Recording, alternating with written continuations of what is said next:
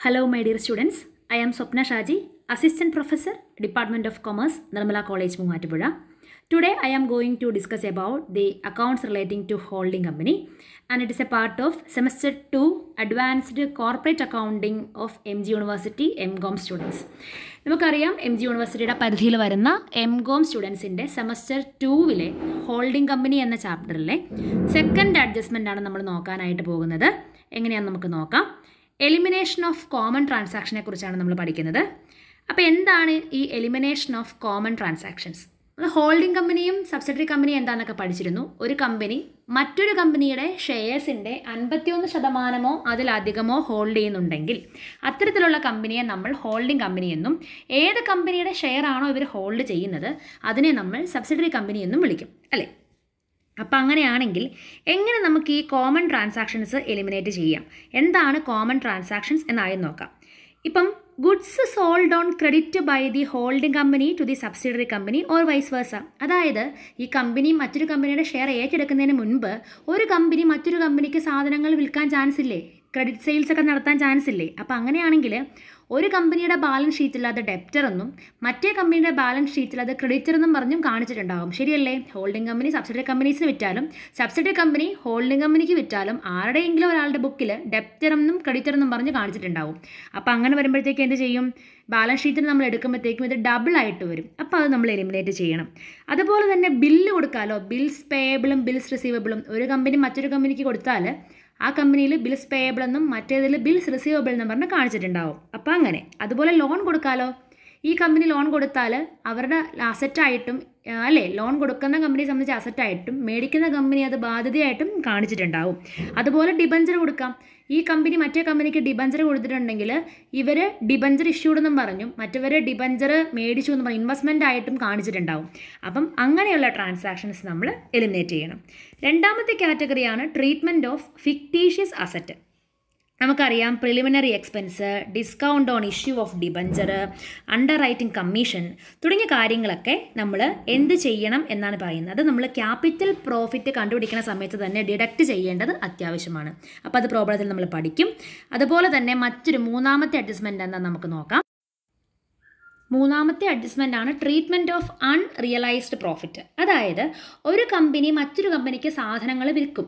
വിൽക്കുമ്പോൾ എന്തായാലും നമുക്കറിയാലോ ഒരല്പം പ്രോഫിറ്റും കൂടെ കൂട്ടിയായിരിക്കില്ലേ വിൽക്കുക. കോസ്റ്റിന്റെ കൂടെ പ്രോഫിറ്റ് കൂട്ടിയായിരിക്കും വിൽക്കുക.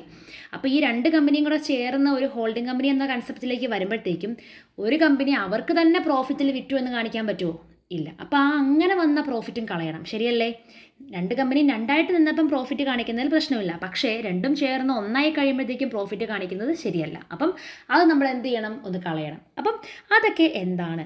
അങ്ങനെയുള്ള കാര്യങ്ങളാണ് നമ്മൾ ഇന്ന് കാണാനായിട്ട് പോകുന്നത്. നമുക്കൊരു പ്രാക്ടിക്കൽ പ്രോബ്ലത്തിലേക്ക് നേരിട്ട് വരാം. ഞാൻ ആ ക്വസ്റ്റ്യൻ ഒന്ന് വായിക്കാം. Inter company owings and stock റിസർവിനെ കുറിച്ചാണ് നമ്മൾ ഇന്ന് പഠിക്കുന്നത്. From the balance sheet given first March two thousand twenty and information given below prepare consolidated balance sheet എന്നാണ് പറഞ്ഞേക്കുന്നത്. ഇക്വിറ്റി ആൻഡ് ലയബിലിറ്റീസ് നമുക്ക് തന്നിട്ടുണ്ട്. ഷെയർ ക്യാപിറ്റൽ നമുക്ക് അറിയാം. Shares of rupees ten each ആണ്. അഞ്ച് ലക്ഷവും ഒരു ലക്ഷവും. അപ്പം അമ്പതിനായിരം ഷെയറും പതിനായിരം ഷെയറുമാണുള്ളത് റിസർവ്സ് എന്ന് പറഞ്ഞ് അറുപത് മുപ്പതും തന്നിട്ടുണ്ട്. സർപ്ലസ് രണ്ട് ലക്ഷവും ആറ് ലക്ഷവും തന്നിട്ടുണ്ട്.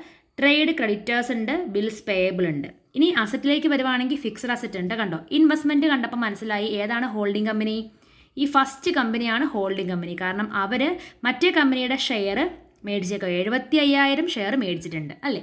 കറണ്ട് അസറ്റ്സ് തന്നിട്ടുണ്ട് ഡിബൻ ഡെപ്റ്റർ തന്നിട്ടുണ്ട് ബിൽസ് റിസീവബിൾ തന്നിട്ടുണ്ട്. അപ്പം ഏത് കമ്പനിയിലാണോ ഇൻവെസ്റ്റ്മെന്റ് എന്ന് പറഞ്ഞ ഷെയർ കിടക്കുന്നത് അവരായിരിക്കും ഹോൾഡിംഗ് കമ്പനി മറ്റേ കമ്പനി സബ്സിഡറി കമ്പനിയാണ് ഇനി നമുക്ക് ബാക്കി കാര്യങ്ങൾ നോക്കാം.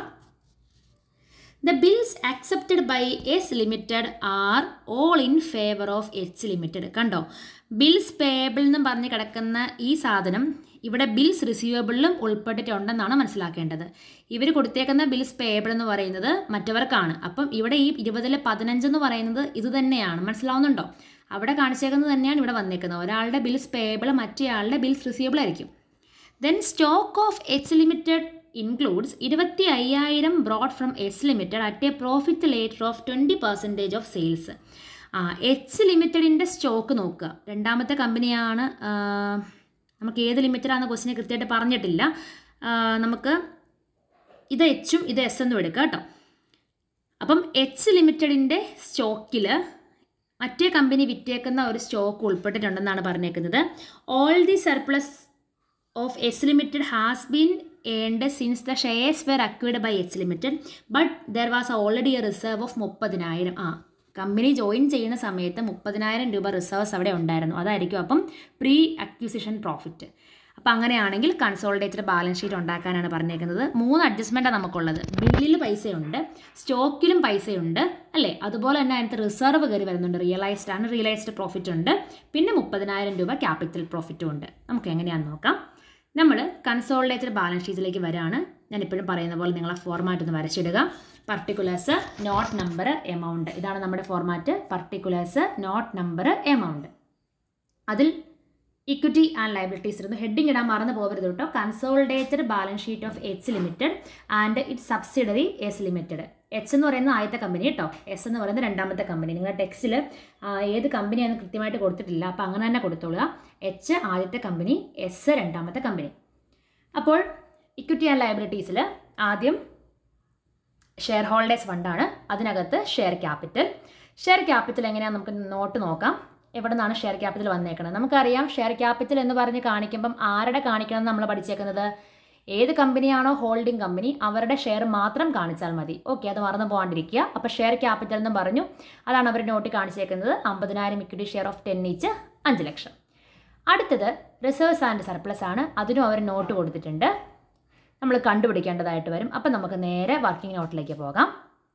നമുക്ക് എങ്ങനെയാണ് അവരുടെ ആ റേഷ്യോ കാര്യങ്ങളെന്നൊക്കെ ഇന്ന് ആദ്യം നോക്കണം. വർക്കിംഗ് നോട്ട് എന്ന ഹെഡിങ് കൊടുക്കുക. കാൽക്കുലേഷൻ ഓഫ് പ്രീ അക്യൂസിഷനും പോസ്റ്റ് അക്യൂസിഷൻ പ്രോഫിറ്റും ഒക്കെ നമ്മൾ ചെയ്യാൻ പോകുന്നത് വർക്കിംഗ് നോട്ടിൽ ആദ്യം നമുക്ക് എഴുതാം. Total shares of the subsidiary company ശരിയല്ലേ? സബ്സിഡറി കമ്പനിക്ക് ഒരു ലക്ഷം രൂപയുടെ ഷെയർ ഉണ്ടെന്നാണ് പറഞ്ഞേക്കുന്നത് ഒരു ഷെയറിന് പത്ത് രൂപ വില എന്നും ക്വസ്റ്റിന് പറഞ്ഞിട്ടുണ്ട് അപ്പോൾ ഒരു ലക്ഷം ബൈ പത്ത് പതിനായിരം. അതിൽ എച്ച് മേടിച്ചേക്കുന്ന എത്രയാ? Shares held by the holding holding company എഴുപത്തയ്യായിരം രൂപയുടെ ഷെയർ അപ്പം ഏഴായിരത്തി അഞ്ഞൂറ് ഷെയറാണ് മേടിച്ചേക്കുന്നത് അങ്ങനെയാണെങ്കിൽ ഹോൾഡിംഗ് കമ്പനിയുടെ പ്രപ്പോർഷൻ എന്ന് പറയുമ്പോൾ എത്ര വരും? എഴുപത്തയ്യായിരം ഏഴായിരത്തി അഞ്ഞൂറ് ബൈ പതിനായിരം. അപ്പം ത്രീ ബൈ ഫോർ ഓക്കെ അല്ലേ?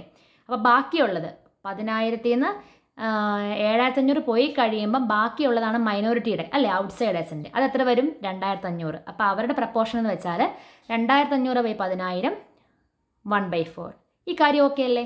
എത്ര ഷെയർ ആണ് ഹോൾഡിംഗ് കമ്പനിക്കും സബ്സിഡറി കമ്പനിക്കും ഉള്ളതെന്ന് മനസ്സിലാക്കി. ഇനി ക്യാപിറ്റൽ പ്രോഫിറ്റ് എന്ത് ചെയ്യണമെന്നാണ് നമ്മൾ നോക്കുന്നത്. അവർ അക്വയർ ചെയ്ത സമയത്ത് അനാലിസിസ് ഓഫ് ക്യാപിറ്റൽ പ്രോഫിറ്റ് എന്ന് ഹെഡിങ് കൊടുക്കുക. ഈ കമ്പനിയെ അക്വയർ ചെയ്യുന്ന സമയത്ത് ഇവരുടെ കയ്യിൽ മുപ്പതിനായിരം രൂപ റിസർവ് ഉണ്ടെന്ന് പറഞ്ഞിട്ടുണ്ടായിരുന്നു. Balance of general reserve on the date of acquisition അത് എത്രയാണെന്നാ ക്വസ്റ്റിന് പറഞ്ഞേക്കുന്നേ? മുപ്പതിനായിരം. അതിൽ മൈനോറിറ്റിയുടെ കുറച്ച് കഴിഞ്ഞാൽ ബാക്കിയുള്ളതായിരിക്കില്ലേ ഹോൾഡിംഗ് കമ്പനിയുടെ less share of non controlling interest എന്ന് വെച്ചാൽ ആരുടെയാണ്? മൈനോറിറ്റി ഹോൾഡേഴ്സിന്റെ വൺ ബൈ ഫോർ അല്ലേ? Less share of non controlling interest എന്ന് പറഞ്ഞ് മുപ്പതിനായിരത്തിന്റെ ഇന്റു വൺ ബൈ ഫോർ മുപ്പതിനായിരം ഇന്റു വൺ ബൈ ഫോർ കുറച്ച് കഴിഞ്ഞാൽ ബാക്കി കിട്ടുന്നതാണ് ഹോൾഡിംഗ് കമ്പനിയുടെ ഷെയർ അപ്പം അതുകൊണ്ട് നായി നമ്മൾ എവിടെ എഴുതി വെക്കുക? റിസർവ്സിൽ ക്യാപിറ്റൽ റിസർവ് എന്ന് പറഞ്ഞുകൊണ്ട് ഹോൾഡിംഗ് കമ്പനിയുടെ ഷെയർ കാണിച്ചു. ഹോൾഡിംഗ് കമ്പനിയുടെ ഷെയർ എത്രയാണ്? ഇപ്പം കണ്ടുപിടിച്ചത് ഇരുപത്തിരണ്ടായിരത്തി അഞ്ഞൂറ്. ഇനി എച്ച് ലിമിറ്റഡിന്റെ റിസർവ്സ് ബാലൻസ് ഷീറ്റ് കിടപ്പുണ്ട്. ബാലൻസ് ഷീറ്റ് നിങ്ങൾ നോക്കണം കേട്ടോ. ഞാൻ ജസ്റ്റ് എപ്പോഴും പുറകോട്ടിടിച്ച ഡിസ്റ്റർബൻസ് ആവുന്നതുകൊണ്ട് അടിക്കാണ്ടിരിക്കുന്നത്. റിസർവ്സ് അറുപതിനായിരം എന്ന് ബാലൻസ് ഷീറ്റ് കിടപ്പുണ്ട്. അപ്പോൾ അതാണ് നമ്മൾ അടുത്തത് കൊണ്ട് എഴുതുന്നത്. റിസർവ്സ് അറുപതിനായിരം നമ്മൾ എഴുതി. ഇനി എന്നാ നമ്മൾ എഴുതാൻ പോണേന്ന് നോക്കാം. കാൽക്കുലേഷന്റെ ഒക്കെ ആവശ്യം വരും. ഇനി സർപ്ലസിനെ കുറിച്ച് നോക്കാം. ബാലൻസ് ഷീറ്റിൽ നമുക്ക് സർപ്ലസ് വന്നേക്കണം നോക്കുക. ആരുടെയൊക്കെ സർപ്ലസ് ഉണ്ട്? എച്ചിന് രണ്ട് ലക്ഷം രൂപ സർപ്ലസ് ഉണ്ട്. അപ്പം നമ്മൾ അത് കൊണ്ട് എഴുതാൻ പോവുകയാണ് ഇനി സർപ്ലസ് അക്കൗണ്ട് ഓഫ് എച്ച് രണ്ട് ലക്ഷമാണെന്ന് നമുക്ക് ക്വസ്റ്റിനിൽ അറിയാം. എസിന്റെ നമ്മൾ കണ്ടുപിടിക്കണം. എസിന്റെ എന്ന് വെച്ചാൽ എസിന്റെ നമുക്കറിയാം. കണ്ടോ? Analysis of revenue profit analysis of revenue profit എന്ന് പറഞ്ഞുകൊണ്ട് ഹെഡിങ് കൊടുക്കുക. എന്നിട്ട് നിങ്ങൾ ക്വസ്റ്റ്യനിലെ ബാലൻസ് ഷീറ്റ് നോക്കുക. ക്വസ്റ്റ്യനിലെ ബാലൻസ് ഷീറ്റ് നോക്കുക. ആരുടെ ബാലൻസ് ഷീറ്റ് എസിന്റെ ബാലൻസ് ഷീറ്റ് നോക്കുക. എസിന്റെ ബാലൻസ് ഷീറ്റിൽ സർപ്ലസ് എന്നും പറഞ്ഞ് അറുപതിനായിരം കിടപ്പുണ്ട്. നമ്മൾ ഈ മുപ്പതിനായിരം ഇപ്പോൾ ഓൾറെഡി അഡ്ജസ്റ്റ് ചെയ്ത് കഴിഞ്ഞത് കേട്ടോ. സർപ്ലസ് എന്നും പറഞ്ഞ് അറുപതിനായിരം കിടപ്പുണ്ട്. അതാണ് നമ്മളിനി വർക്കൗട്ട് ചെയ്യാനായിട്ട് പോകുന്നത്. പ്രോഫിറ്റ് ഏൺഡ് ആഫ്റ്റർ അക്വിസിഷൻ എസിന്റെ ആണ് നോക്കേണ്ടത് കേട്ടോ. പ്രോഫിറ്റ് ആൻഡ് ലോസ് അക്കൗണ്ട് എന്നും പറഞ്ഞ് കിടക്കുന്ന അല്ലെങ്കിൽ സർപ്ലസ് അക്കൗണ്ട് എന്നും പറഞ്ഞ് കിടക്കുന്ന എസിന്റെ കോളം നോക്കുക. അറുപതിനായിരം. അതിൽ നിന്ന് ഇതുപോലെ തന്നെ. നേരത്തെ റിസർവിൽ നിന്ന് എങ്ങനെ കുറച്ചോ അതുപോലെ തന്നെ. Less share of non controlling interest one by four കുറച്ച് കഴിഞ്ഞാൽ നമുക്ക് പതിനയ്യായിരമാണ്. അത് കുറച്ച് കഴിഞ്ഞാൽ കിട്ടുന്ന നാൽപ്പത്തയ്യായിരം എവിടെ കൊണ്ടുവന്ന് എഴുതി വെക്കുക? എസ് ലിമിറ്റഡിന്റെ നേരെ കൊണ്ട് എഴുതി വെക്കുക കണ്ടോ? അറുപതിനായിരത്തിന്റെ സെവന്റി ഫൈവ് പെർസെന്റേജ് ശരിയല്ലേ? ത്രീ ബൈ ഫോർ ആണ് ഇവിടെ വരേണ്ടത്. അപ്പോൾ രണ്ട് ലക്ഷത്തി നാൽപ്പതിനായിരം നാൽപ്പത്തയ്യായിരം കിട്ടും. ഇനി അൺറിയലൈസ്ഡ് പ്രോഫിറ്റ് എന്നും പറഞ്ഞ ഒരു ഐറ്റം കൂടിയുണ്ട് അതെങ്ങനെയാണ് കണ്ടുപിടിക്കണേന്ന് നോക്കാം. നിങ്ങൾ ക്വസ്റ്റ്യനിൽ നോക്കുക. ക്വസ്റ്റ്യനിൽ പറഞ്ഞേക്കുന്ന ആ ഒരു അഡ്ജസ്റ്റ്മെന്റ് ഒന്ന് വായിച്ച് നോക്കിക്കേ. The stock of H limited include twenty five thousand brought from S limited at a profit to the latter of twenty percentage of sales ഒരു ഇരുപത്തയ്യായിരം രൂപയുടെ സെയിൽസ് നടന്നിട്ടുണ്ട്. അത് ഓൾറെഡി ട്വന്റി പെർസെന്റേജ് പ്രോഫിറ്റിലാണ് വിറ്റേക്കുന്നത് എന്നാണ് പറഞ്ഞേക്കുന്നത്. അപ്പം ഒരു കമ്പനി സ്വന്തം കമ്പനിക്ക് തന്നെ പ്രോഫിറ്റിൽ വിൽക്കാൻ പറ്റുമോ ഇല്ല. അതുകൊണ്ട് എന്ത് ചെയ്യണം? ആ പ്രോഫിറ്റ് അങ്ങോട്ട് ക്യാൻസൽ ചെയ്യണം. അപ്പം ഇരുപത്തയ്യായിരം രൂപയുടെ സെയിൽസ് അല്ലേ നടന്നേക്കുന്നത് ഇരുപത് ശതമാനം സെയിൽസിനെ കുറിച്ചല്ലേ പറഞ്ഞേക്കുന്നത് അപ്പം ഇരുപത്തയ്യായിരം ഇന്റു ട്വന്റി പെർസെന്റേജ് കണ്ടുപിടിക്കുക. ഇരുപത്തയ്യായിരം ഇന്റു ഇരുപത് ബൈ ഹൺഡ്രഡ് അയ്യായിരം രൂപ. അതാണ് അൺറിയലൈസ്ഡ് പ്രോഫിറ്റ് ക്യാൻസൽ ചെയ്യണം എന്നുള്ള പഠിച്ചില്ലേ? അപ്പോൾ അതും കളഞ്ഞ് ബാക്കി രണ്ട് ലക്ഷത്തി നാൽപ്പതിനായിരം വരും. എങ്ങനെയൊക്കെയാണ്?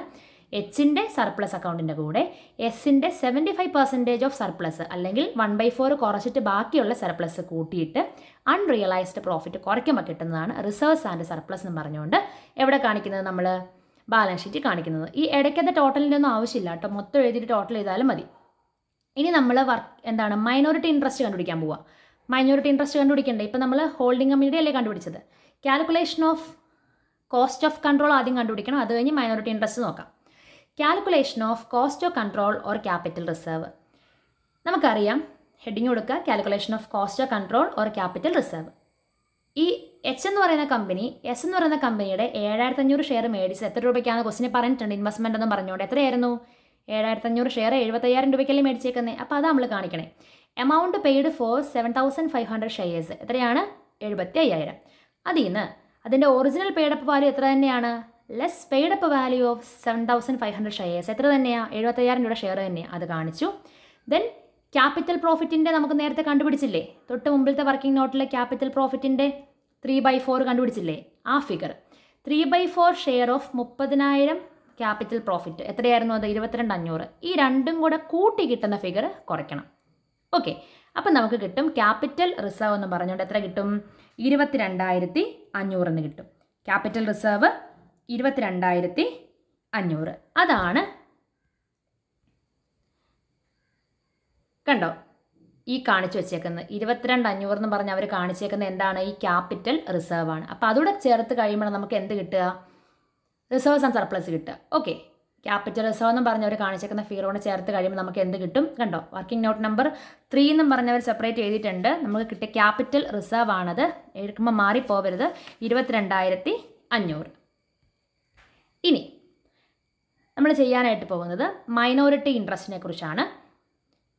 നമുക്കറിയാം ഔട്ട്സൈഡേഴ്സിന്റെ ഷെയർ എത്രയാണെന്ന് നോക്കാം. Paid up value of two thousand five hundred shares of outsiders എത്രയാണ്? ഇരുപത്തയ്യായിരമാണ്. അതിൽ നിന്ന് അതിന്റെ കൂടെ നമ്മൾ എന്ത് ചെയ്യണം? One by four share of capital profit ഇല്ലേ നമ്മൾ നേരത്തെ കണ്ടുപിടിച്ചത്? ഏതാണ്? വൺ ബൈ ഫോർ ഈ ഏഴായിരത്തി അഞ്ഞൂറും പിന്നെ ഈ പതിനയ്യായിരവും. അത് രണ്ടും കൂട്ടണം. Okay one by four share of capital profit ഏഴായിരത്തി അഞ്ഞൂറും one by four share of revenue profit പതിനയ്യായിരം കൂട്ടുമ്പോൾ കിട്ടുന്ന നാൽപ്പത്തി ഏഴായിരത്തി അഞ്ഞൂറാണ് എന്തെന്ന് പറയുക നമ്മുടെ മൈനോറിറ്റി ഇൻട്രസ്റ്റ് ആയിട്ട് കാണിക്കുന്നത്. ഓക്കെ അല്ലേ? അതും കൊണ്ട് നമ്മൾ എവിടെ കാണിക്കുന്നു? ബാലൻസ് ഷീറ്റിൽ കാണിക്കുന്നു. നോൺ കൺട്രോളിങ് ഇൻട്രസ്റ്റ് എന്ന് പറഞ്ഞാൽ അതും കാണിച്ചു. ഇനി നമുക്ക് കറണ്ട് ലയബിലിറ്റീസിലേക്ക് വരാം. കറണ്ട് ലയബിലിറ്റീസിൽ നമുക്കറിയാം ക്വസ്റ്റ്യൻ നോക്കുക. ട്രേഡ് ക്രെഡിറ്റേഴ്സ് ഉണ്ട്. അതുപോലെ തന്നെ ബിൽസ് പേയബിളും ഉണ്ട്. ബിൽസ് പേയബിൾ എടുക്കുമ്പോഴത്തേക്കും നമ്മൾ ചെയ്യേണ്ടത് അത് ക്വസ്റ്റിനി പറഞ്ഞിട്ടുണ്ട്. The bills accepted by S limited are all in favour of H limited എന്ന് പറഞ്ഞേക്കുക അപ്പോൾ ക്വസ്റ്റ്യനിലുള്ള ബില്ല് എത്രയാണ് പതിനയ്യായിരം രൂപ. അപ്പോൾ എന്നാ ചെയ്യണം? അത് നമ്മൾ ക്യാൻസൽ ചെയ്യണം. അപ്പോൾ എഴുതുക കറണ്ട് ലയബിലിറ്റീസ് എന്ന് എഴുതുന്നു ട്രേഡ് പേയബിൾസ് എന്ന് എഴുതി അതിൽ ബിൽസ് പേയബിൾ എസിന്റെ പതിനഞ്ച് ലെസ് ഹെൽഡ് ബൈ എച്ചും പതിനഞ്ച്. അപ്പം നില്ല് വരും. ഇനി ക്രെഡിറ്റേഴ്സ് ക്രെഡിറ്റേഴ്സ് എന്ത് ചെയ്താൽ മതി? ജസ്റ്റ് അങ്ങോട്ട് കൂട്ടി എഴുതിയാൽ മതി. ക്രെഡിറ്റേഴ്സിനെ കുറിച്ച് വേറൊന്നും പറഞ്ഞിട്ടില്ലല്ലോ. ക്രെഡിറ്റേഴ്സ് രണ്ടും കൂടി അങ്ങോട്ട് ഒരു ലക്ഷത്തി പതിനായിരം അറുപതിനായിരം കൂട്ടി എഴുതുക. അപ്പോൾ ബാലൻസ് ഷീറ്റിന്റെ ലയബിലിറ്റീസ് ആയിട്ട് കിട്ടി. ഇനി അസറ്റ് സൈഡിലേക്ക് വരാം. അസറ്റ് സൈഡിൽ പ്രത്യേകിച്ച് അഡ്ജസ്റ്റ്മെന്റും കാര്യങ്ങളൊന്നും പറഞ്ഞിട്ടില്ല. അസറ്റ് കൂട്ടി കൂട്ടി എഴുതുന്നേ ഉള്ളൂ. വേറെ അഡ്ജസ്റ്റ്മെന്റ് ഒന്നും അവിടെ ഇല്ല. കേട്ടോ ഫിക്സഡ് അസറ്റ് എന്ന് പറഞ്ഞ് എച്ചിന്റെ എസിന്റെയും കൂടി അങ്ങോട്ട് കൂട്ടി എഴുതി നാല് ലക്ഷത്തി അറുപതിനായിരം. അതുകൊണ്ട് ബാലൻസ് ഷീറ്റിൽ എഴുതുക. ഇൻവെൻട്രി എഴുതുമ്പോൾ ശ്രദ്ധിക്കുക. സ്റ്റോക്ക് എച്ചിന്റെ മൂന്ന് ലക്ഷം ക്വസ്റ്റിന് പറഞ്ഞിട്ടുണ്ട്. എസിന്റെ ഒന്ന് ഇരുപതും പറഞ്ഞിട്ടുണ്ട്. മൊത്തം നാല് ലക്ഷത്തി ഇരുപതിനായിരം വരും. അതിൽ നിന്നും നമ്മൾ നേരത്തെ കണ്ടുപിടിച്ചില്ലേ? അൺറിയലൈസ്ഡ് പ്രോഫിറ്റ് അത് കുറയ്ക്കണം. ഓക്കെ അൺറിയലൈസ്ഡ് പ്രോഫിറ്റ് അയ്യായിരം കുറച്ചിട്ട് നാല് ലക്ഷത്തി പതിനയ്യായിരം വേണം ഇവിടെ കൊണ്ട് കാണിക്കാനായിട്ട്. നമ്മുടെ കൺസോൾഡേറ്റഡ് ബാലൻസ് ഷീറ്റിൽ കാണിക്കാൻ. ഇനി ട്രേഡ് റിസീവബിൾസിലേക്ക് വരാം. ട്രേഡ് റിസീവബിൾസിൽ നേരത്തെ മ്യൂച്വൽ ഹോയിങ്സ് വരുന്നുണ്ടല്ലോ. അപ്പോൾ ഡെപ്റ്റേഴ്സിന് പ്രശ്നമൊന്നുമില്ല. എച്ചിന്റെ എഴുപത്തി അയ്യായിരം അതുപോലെ തന്നെ എഴുതാം. എസിന്റെ എൺപത്തയ്യായിരം എഴുതി കൂട്ടാം. പക്ഷേ ബിൽസ് റിസീവബിളിലേക്ക് വരുമ്പം ഈ ഇരുപതിനായിരത്തിൽ പതിനയ്യായിരം മ്യൂച്വൽ ഓയിങ്സ് ആണെന്നല്ലേ പറഞ്ഞേക്കുന്നത് അപ്പോൾ അത് കുറച്ചിട്ട് ബാക്കിയുള്ള അയ്യായിരം വേണം കാണിക്കാൻ. അതും കൊണ്ടുവന്ന് എവിടെ എഴുതുക? ബാലൻസ് ഷീറ്റിൽ എഴുതുക. രണ്ട് സൈഡും ടാലിയാവും അപ്പോൾ ഈ റിസർവ്സിന്റെ സംഭവമാണ് പ്രശ്നം വരിക. റിസർവ്സിൽ ക്യാപിറ്റൽ റിസർവ് എന്ന് പറയുന്നത് നമ്മുടെ വർക്കിംഗ് നോട്ട് നമ്പർ ത്രീയിൽ നിന്ന് കിട്ടുന്ന ഐറ്റമാണ് അത് മറന്നു പോവരുത്. എന്താണ്? എഴുപത്തയ്യായിരം ഏഴായിരത്തഞ്ഞൂറ് ഷെയറിന്റെ ഒറിജിനൽ പെയ്ഡപ്പ് വാല്യൂവും അതിന്റെ ക്യാപിറ്റൽ പ്രോഫിറ്റിന്റെ പങ്കും കൂടെ കുറച്ച് കഴിയുമ്പോൾ കിട്ടുന്നതാണ് ക്യാപിറ്റൽ റിസർവ് പിന്നെ വരുന്ന ഐറ്റം റിസർവ്സ് എന്ന് പറഞ്ഞ് കാണിക്കുന്നത് നമ്മുടെ എച്ച് ലിമിറ്റഡിന്റെ റിസർവ് തന്നെയാണ്. സർപ്ലസ് എന്ന് പറഞ്ഞ് കാണിക്കുന്നത് എച്ച് ലിമിറ്റഡിന്റെ സർപ്ലസിന്റെ കൂടെ എസ് ലിമിറ്റഡിന്റെ സർപ്ലസിന്റെ സെവന്റി ഫൈവ് പെർസെന്റേജ് കൂട്ടിയത്. അതിൽ നിന്നും അൺറിയലൈസ്ഡ് പ്രോഫിറ്റ് കുറയ്ക്കുന്നത്. അപ്പോൾ ഇത്രയേ ഉള്ളൂ ഈ ഒരു പ്രോബ്ലം നമ്മൾ മൂന്നാൽ അഡ്ജസ്റ്റ്മെന്റ് കണ്ടു. ഒന്ന് മ്യൂച്വൽ ഓയിങ്സ് ഡെപ്റ്റ് എന്താണ് ബിൽസ് പേബിളിൽ സാധനം ഉണ്ടെന്ന് പറയുന്നത്. അതുപോലെ അൺറിയലൈസ്ഡ് പ്രോഫിറ്റ്സ് ഉണ്ടെന്നും പറയുന്നതാണ് ഈ പ്രോബ്ലത്തിൽ കണ്ടത്. അപ്പോൾ അത് നിങ്ങൾക്ക് മനസ്സിലായിട്ടുണ്ടെന്ന് ഞാൻ വിചാരിക്കുന്നു. ഇച്ചിരി വലിയ പ്രോബ്ലമാണ് അപ്പോൾ ഇതിങ്ങനെ തന്നെ എക്സ്പ്ലെയിൻ ചെയ്യുന്നതായിരിക്കും നിങ്ങൾക്ക് മനസ്സിലാവാൻ കൂടുതൽ എളുപ്പം എന്ന് ഞാൻ വിശ്വസിക്കുന്നു. എന്തെങ്കിലും ഡൗട്ട് ഉണ്ടെങ്കിൽ പേഴ്സണലായിട്ട് കോൺടാക്റ്റ് ചെയ്യുക. ഇല്ലെങ്കിൽ വീഡിയോയ്ക്ക് താഴെ കമന്റ് ചെയ്യുക. ഇനി ഡൗട്ട് അങ്ങനെ തീരാത്തവർ ആരെങ്കിലും ഉണ്ടെങ്കിൽ നിങ്ങളുടെ ഫോൺ നമ്പർ തന്നിട്ട് എന്താ ഡൗട്ടെന്ന് പറയുകയാണെങ്കിൽ ഞാൻ നിങ്ങളെ കോൺടാക്റ്റ് ചെയ്യുന്നതായിരിക്കും. അപ്പോൾ അതും ചെയ്യാവുന്നതാണ്. ആദ്യമായിട്ടാണ് ചാനൽ കാണുന്നതെങ്കിൽ വീഡിയോ ലൈക്ക് ചെയ്യാനും കമന്റ് ചെയ്യാനും സബ്സ്ക്രൈബ് ചെയ്യാനും മറക്കരുത്. താങ്ക്